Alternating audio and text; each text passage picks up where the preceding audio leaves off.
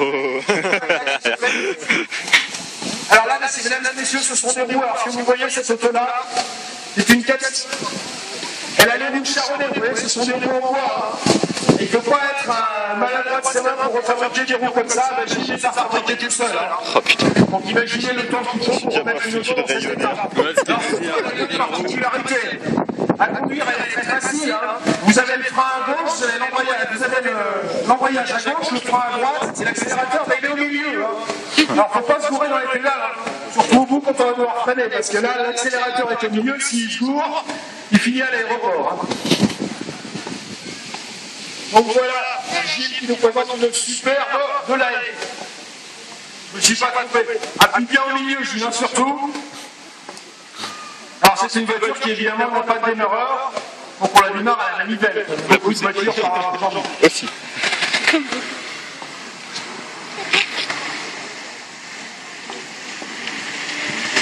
Ah, mesdames et messieurs, je vous prie d'applaudir bien fort. Nous avons Roger Moore. Roger Moore, on applaudit bien fort, qui présente une Simca 5. Moore, donc un Simca 5, numéro 5. Cette auto, c'est la version française de la Fiat qu'on appelle la Topolino. Hein, c'est une voiture qui développe 500, 570 cm3 pour 12 chevaux. Non, Topolino, ça veut dire qu'elle était décapotable, mais, euh, c'est pas complètement décapotable, Cette voiture décapotable, servait à l'aérodrome de Berck. Et un jour, un avion à l'aérodrome, un avion s'est- posé sur la plage. Et ben, ils ont simplement ramené l'avion en le tirant, en mettant la roulette arrière de l'avion à l'arrière de la voiture. Voilà, avec ce auto-là, il fallait quand même le faire. Bon, hein.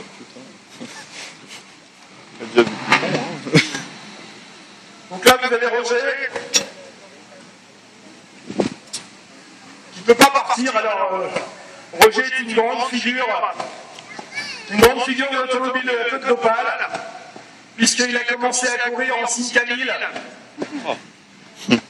et il a fini en 504. Vas-y, Roger, regarde le drapeau. C'est bon. T'occupe pas de ce que je dis, regarde le drapeau.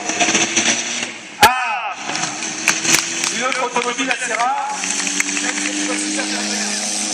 On est dans la foire, foire Junior. Ces autos-là là, étaient fabriquées parce que, à l'époque, on avait lycéen beaucoup de voitures outre-Atlantique, Ah beaucoup d'argent, en faisant des petits camions, des petits triomphes. Et en France, on a voulu faire la même chose. Ces gens-là, ils ont décidé de fabriquer un petit cabriolet sur la base de la Poire Ardina. Et ça a donné la Dina Junior que vous avez sous les yeux.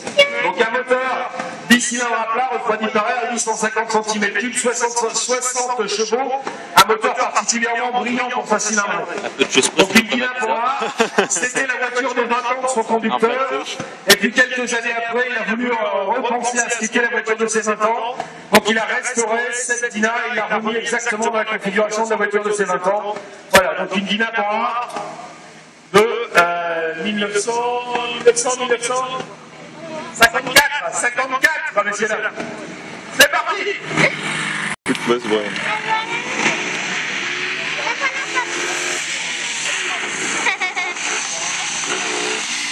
Alors là, on va faire, la seule moto d'avant-guerre, la seule moto du plateau aujourd'hui. Donc il y a Pierre, qui va nous présenter un départ, un, départ lancé avec une qui est de 1900. 1935, messieurs dames, je vous demande de l'applaudir, parce que d'habitude, il conduit une 750 GS XR qui développe bien entendu Maxime, son chevaux. Maxime. Évidemment, il développe bien entendu son chevaux. Et là, il va nous sortir sa Zéro qui doit développer environ un centième de cheval. Un cheval tout court, c'est un cheval tout court. Alors le pire, c'est que les autres vont devoir attendre parce que normalement il la pousse jusqu'au bout, jusqu'à ce qu'elle démarre. En fait, vous allez voir, elle va démarrer à peu près au niveau de la galerie blanche là-bas. T'es prêt? Il n'y a pas d'embrayage encore sur ces. J'ai dirais des pédales là-dessus, non? Non, oui, je crois qu'il n'y a pas d'embrayage sur un chien direct.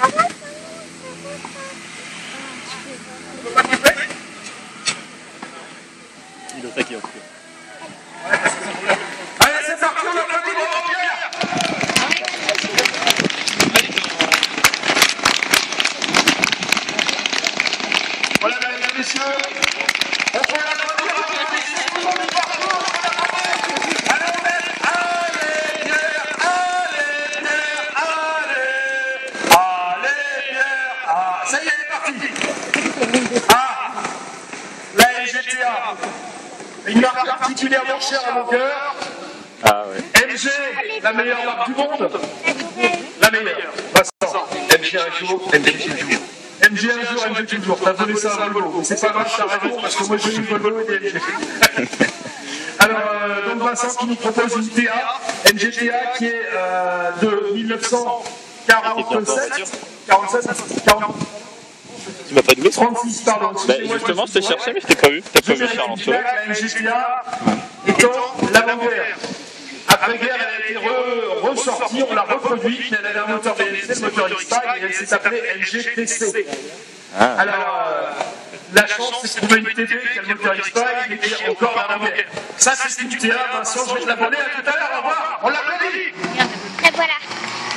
Regarde la mienne.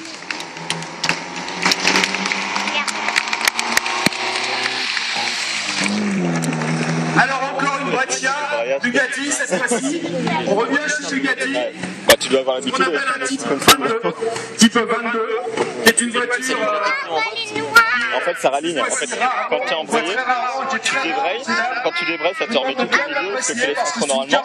Tu rembrayes. Ouais. Et là, ça raligne tout à la bonne vitesse. et là, tu Bugatti peux- 46 courses. Bah, ça fait ce que fait la synchro, quoi.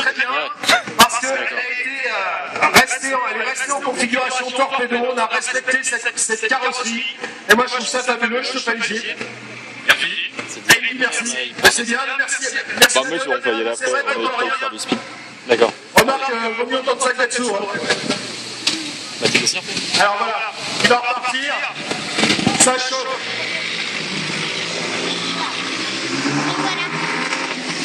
Voilà, essayez d'apprécier, messieurs, dames.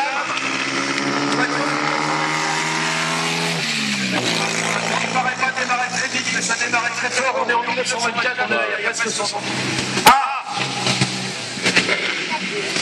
Alors là, mesdames et messieurs, vous êtes face à une 35K. Ouais. Qui est qui est une voiture, qui est une voiture exceptionnelle, pilotée euh, ni plus ni moins par la fille euh, du créateur de Rétromobile. Faut bien le dire. Alors là, mesdames et messieurs, c'est grâce au papa de cette jeune fille que l'automobile ancienne est ce qu'elle est aujourd'hui. Non, mais faut le dire.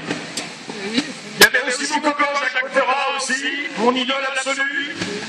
Mais là, vous avez la fille du créateur de Rétromobile qui est aujourd'hui parmi nous et qui nous emmène cette superbe Bugatti 35 Allez, mesdames et messieurs, attendez un applaudissement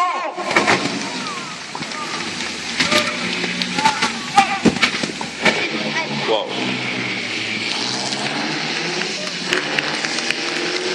Voilà, messieurs.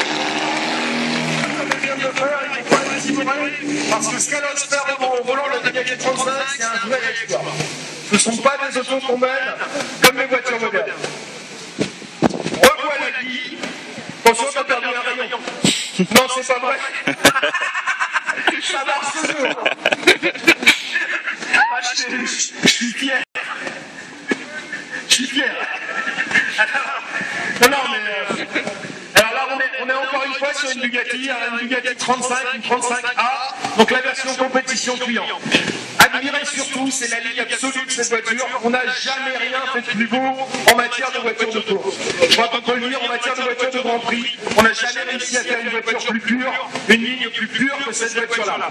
Alors vous verrez que les propriétaires de Bugatti sont très très courageux aujourd'hui d'attendre de partir, parce que vous voyez, les calandres des Bugatti sont très très étroites. Les radiateurs de Bugatti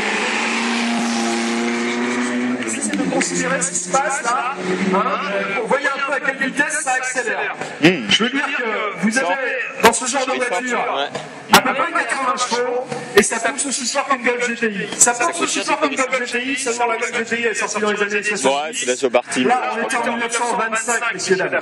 On était avec du 12, 12 cylindres, 12 soupapes par cylindre, 8 cylindres en ligne. Alors, encore une Bugatti, cette fois-ci une 37. Alors, les, les Bugatti. Ouais, ça, ça sent bon, mais ça change rien.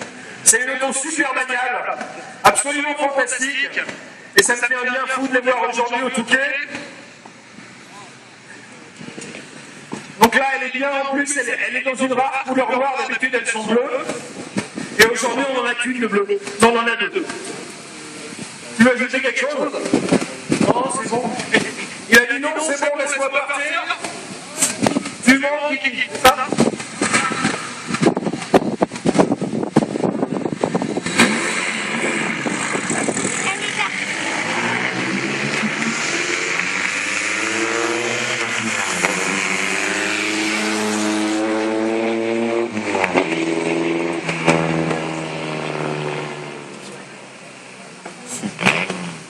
bah écoutez, voilà. Toutes les voitures sont passées au moins une seule fois. Donc là, on va faire un petit, on va temporiser un petit peu, on va faire une petite pause.